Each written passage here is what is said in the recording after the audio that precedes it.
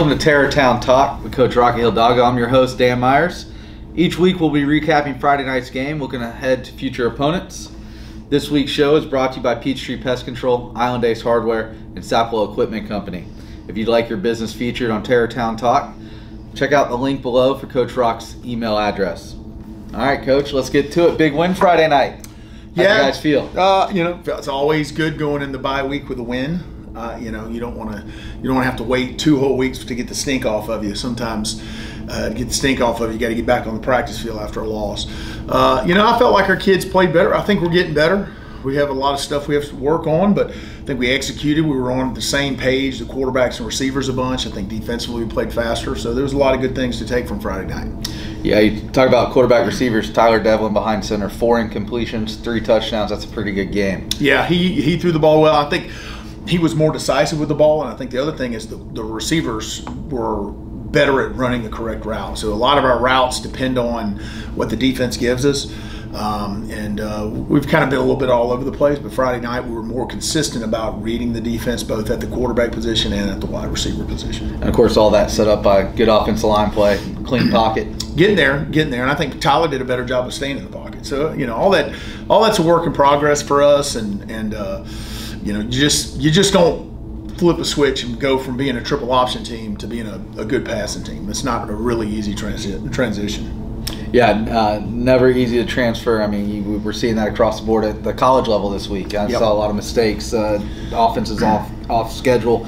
Um, you've got a young freshman Greg Peacock had a pretty decent game besides Yep. the fumble. Yep. Uh, excited for his future. He's going to be really good. I mean, and it, I think the, the thing about Greg is not just his ability, but I think he carries himself like an older kid. He's a kid you can have a, a, a good conversation with, an adult conversation with. A lot of young kids, when you talk to them, they kind of look at the ground and they mumble words. He's not like that. So he's, he's got a chance to be really special.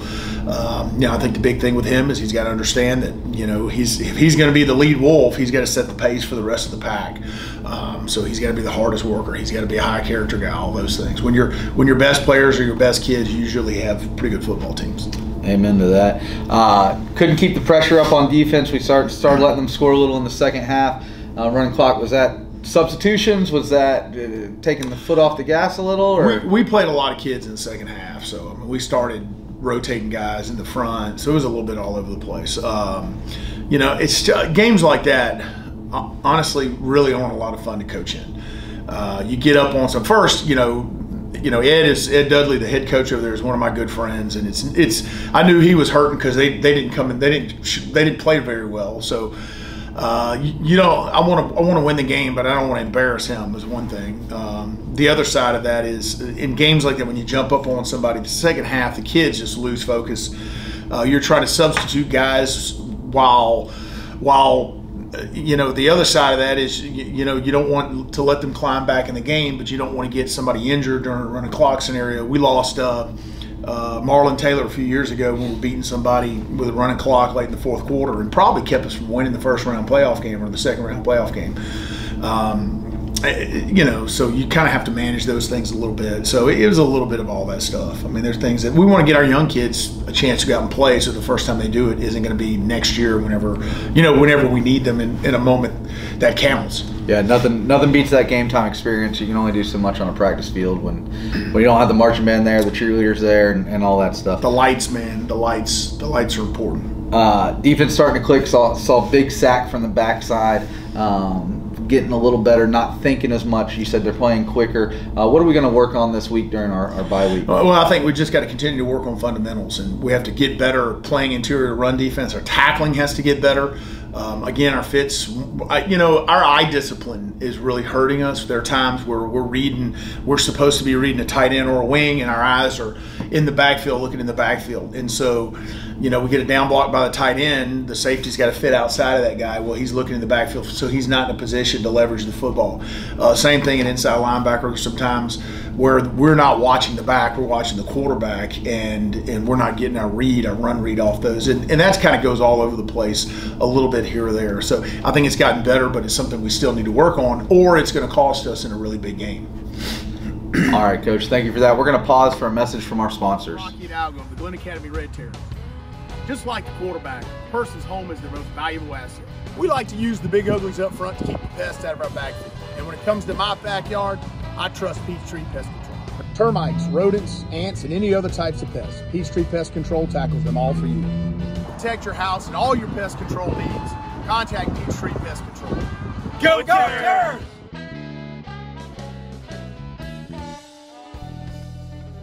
Rocky Hidalgo, head football coach of the Glynn Academy Red Terrors. As a coach, you have to wear a lot of different hats. Sometimes a coach, a mentor, a laundromat, sometimes a chauffeur. And that's how Urgent Med treats healthcare. Urgent Med is the place to go when you're feeling under the weather, but we offer so much more. Sports injuries, back pains, and headaches, we're here to get you back in the game. Now, Urgent Med is accepting primary care appointments.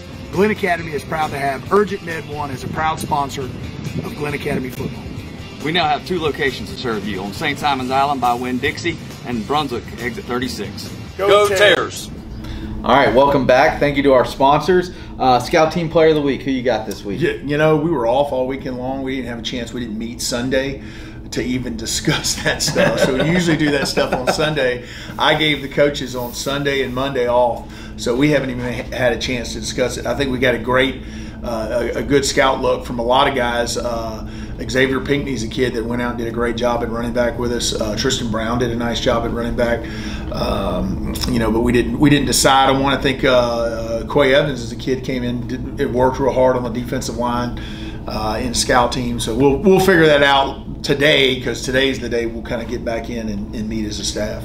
Yeah, no, uh, we had holiday weekend, no game this week. It's our bye week. Yep. Kudos to coach for setting up that schedule. I know that the staff was very appreciative I am, of that. I am, if nothing else, I'm really good at scheduling for the bye week is Labor Day and Georgia Florida weekend. So, I you know I have that the feather in my cap. That's yeah, that's, that's two wins I right there. That, yes. Um, what's practice schedule look like for the team this week? I, I know coaches are meeting today, as you just said. Yeah. Uh, what's players coming in all, every day this week? Yeah, we'll work Tuesday, Wednesday, Thursday. We'll, we give them off Labor Day and we give them off Friday. So we'll work Tuesday, Wednesday, Thursday. We'll practice, uh, you know, because we're still virtual. The kids will be the if they if a player has a fourth block class, they'll be in the building at two thirty. If they don't have, if they excuse me, if they have fourth block weight training, they'll be in the building at two thirty. If they don't have fourth block weight training, they arrive at four o'clock. But we'll have normal practice schedule three days days and give them a three day weekend. Fantastic. Uh, get, get over those bumps and bruises from the first couple games yep. of the season. Uh, training room doesn't look too busy. We're, we're staying pretty healthy. I think for the most part, you know, uh, I think we're okay right now. Knock on wood uh, with that. But it's right now. I think the team's in good shape, and I, am hoping we're through the whole COVID stuff. We kind of had that break, and looks like we're kind of coming out of that. We haven't had a lot of kids come down with COVID this past week, so hopefully we'll kind of move on that and get back to normal, a normal existence and uh, get back playing some football. Uh, yeah, we're going to have to redefine normal, I think, though. Ah, you know, it can't be like this all the time. I just don't. I don't believe that. Uh, we're going to take another break here from our sponsors. Football coach Rocky Hidalgo of the Glynn Academy Red Terrors. As a football coach, it's always nice to have a wide variety of tools to get the win on a Friday night. Running backs making plays, some big guys on the offensive line, and some nasty D linemen make the job a whole lot easier. Add some new tools to your team at Sapelo Equipment Company. Tractors, mowers, utility vehicles, construction, hay farm implements, and more. Make all of your jobs a whole lot easier by visiting the awesome folks at Sapelo Equipment Company. All right, thank you to those sponsors. We really appreciate all you guys' help. Uh, JV freshman off this week as well. Every I gave everybody off this week. Yeah, that, so that is fantastic. Week, yeah. All right, we're gonna get to know Coach a little bit better since we got a, a bye week. That's uh, kind of scary. I just want to prep you guys. Coach and I don't discuss any of these questions beforehand, so he's got no idea what's coming. So if you want me to ask Coach a, a question, put it in the comments. Oh my gosh! And uh, and and I'll filter those out. I got it. I, I, I can't get fired by Blackstone, so. Uh, some of those questions I might just chuckle at. But all right, Coach, this is a, a, an either or. I want you to pick one or the other: Coke or Pepsi. Coke. Chick Fil A or Popeyes. Uh, for chicken, Popeyes. Now, if we're talking chicken biscuits, Bojangles Cajun filet biscuit. My son, who I'm disowning because he thinks Chick Fil A's biscuit is better than the Bojangles Cajun filet. i almost dropped him off downtown Charlotte this weekend so, over something like that. So uh, a good friend of mine, her dad's the CFO of Bojangles. Oh, we need one in Brunswick. Uh, Rachel, Uh, I'm, I'm going to tag you in this. Uh, talk to your dad. We need one in Brunswick. Um, I remember when he first got the job, he got on a flight and handed out Chick Fil A biscuits to everyone on the plane, and I'm just like, I've never wanted to fly more in my life. The uh, I want to tell you right now, I would I would beat up uh, a, a an old person for a good Cajun filet biscuit in the right scenario. Those things are the the Bojangles chicken biscuit is the way to go. With some Bo-Berry biscuits and some Oh, see, see, I'm I'm a I'm a cinnamon biscuit Alright. guy. That's a breakfast right there. We've just that's a breakfast. We might have to hit the let's road drive. let's this. drive to Savannah. Yeah. Uh, you rather be on the ocean or in the lake? Uh, ocean, Mountains or beach? Mm, beach, Hot or cold? hot, real hot. You like to take selfies or group photos? I don't really do either one. To be honest with you. Uh, this one's really more for your kids. Uh, what What's on the TV at the house with Cooper? Disney Channel or Nickelodeon? Mm, he's like watching YouTube. People like They- they- wrestle grizzly bears and sharks and stuff like that. Has he gotten into where they dig the uh, the houses out of the? Oh my gosh, yeah. And I'll be honest, I'll watch that. The two the two dudes in South America or wherever they're from. Yeah, that's That's that's amazing. And it you know they, they should put those guys in charge of constructing the uh, the infrastructure. He could two sticks and they could redo the whole interstate system. and as a parent, you know, there's no audio on that, which I absolutely love. I'm Yeah. like, yep, turn that one on. We can relax. They a crushed little. that thing. It's that's a great video. Would you rather be uh, bit up by mosquitoes or have a sunburn? Mm, sunburn. The Rock or Kevin Hart?